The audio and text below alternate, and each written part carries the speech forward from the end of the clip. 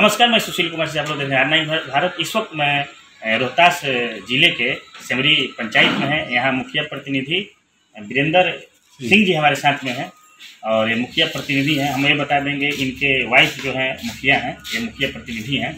और आइए इनसे जानते हैं पाँच साल होने वाला है पाँच साल बीत गया और आचार संहिता लागू है। और पाँच सालों में मुखिया जी अपने पंचायत को कितने अच्छे ढंग से सजाए हैं और कितने विकास के काम किए हैं। सबसे पहले हमारे आर नाइन टी चैनल में आपका स्वागत है। और पाँच साल होने वाला है आचार संहिता भी लागू हो गया है। पाँच सालों में आप अपने पंचायत को कितने कितना कार्य हुआ? पहले हमारे यहाँ बहुत पिछड़ा हुआ पंचायत था।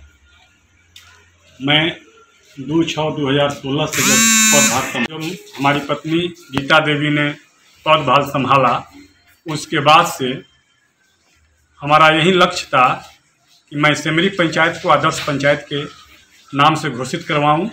और उसी के रास्ते में चला और पूरे दावत प्रखंड में जब मुखिया और वार्ड का जो व्यथी चल रहा था, केस चल रहा था कि नहीं, वार्ड के खाता में पैसा नहीं डाला जाएगा, मैं पहला व्यक्ति हूँ कि मैंने सोचा कि नहीं, हम अपने वार्ड के खाता में पैसा डालेंगे और हमारे पंचायत का विकास करवाएँगे।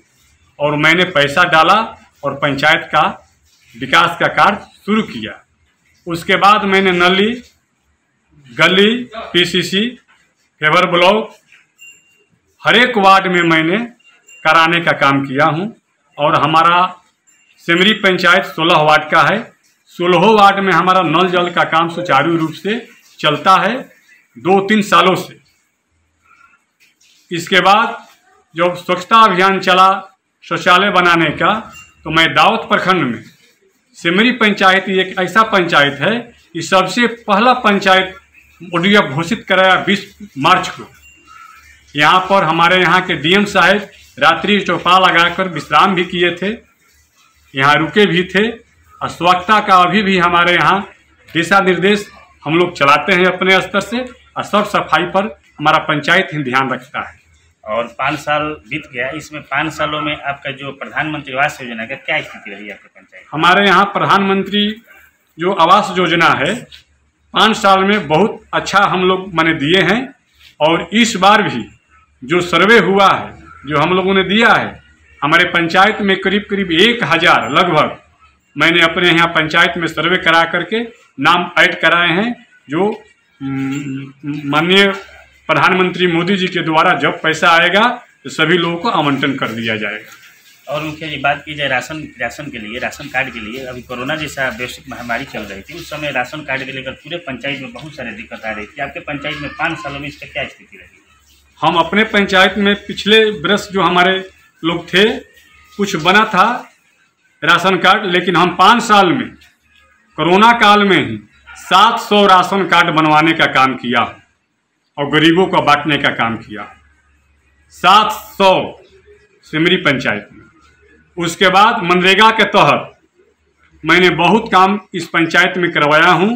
नली हो करहा हो सफ़ाई बहा की सफ़ाई ए, नली मैंने निर्माण पीसीसी निर्माण कार्य योजना मैंने ए, जो मनरेगा से लाभ मिलता है मैंने उसका लाभ भरपूर लिया। इसके बाद जो वृक्षारोपण है सरकार के द्वारा। अपने पूरे पंचायत में जहाँ जहाँ आवश्यकता हुई वहाँ वहाँ वृक्षारोपण मैंने करवाया है।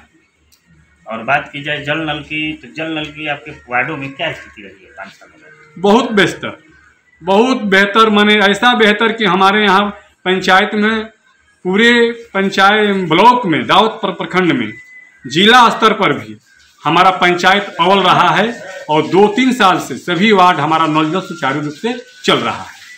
जो सरकार से हम लोग माने लिखित दे चुके हैं। और फिर आप चुनावी मैदान में इस बार आने वाले हैं चुनावी मैदान में आएँगे। इस बार आपका चुनावी मैदान में चुनावी मुद्दा क्या लेकर आएँगे जनता के बीच? हम जनता के बीच यही मुद्दा लेकर के आए हैं कि हम नौजवानों को और विकसित करेंगे अपने यहाँ पंचायत में भारत सरकार के द्वारा राज्य सरकार के द्वारा चलाए गए योजनाओं को अपने पंचायत में लाएँगे और नौजवानों को नौकरी के संबंध में रोज़गार रोज़गार सब व्यवस्था कराई जाएगी। जैसे देखे कि मुखिया प्रतिनिधि वीरेंद्र यादव जी से हमारे बात हुई थी। सिंह। है सिंह सिंह सिंह वीरेंद्र कुमार सिंह जी से हमारे बात हो रही थी। इनके जो भी पंचायत में जो भी कार्य हुआ है बहुत मैंने बढ़िया ढंग से इन्होंने अपने पंचायत को सजा है। इनका पाँच साल अभी फ़र्स्ट बार ही अपने पंचायत का मुखिया हुए हैं और अपने पंचायत को बहुत अच्छी ढंग से सजा है। कैमरा मैन अंकित सर